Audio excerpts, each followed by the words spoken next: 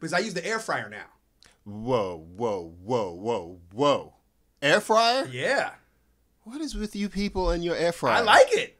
Uh, everybody likes it. I like it. Am I the last to get on the air fryer You're train? not on the air fryer train. no, Yo, I'm not on the, air fryer wings, chair. All that stuff. It's it's a lot less oils, a lot less, you know, because you're not deep frying it in the oil, but it still comes out with that nice, crisp, delicious flavor.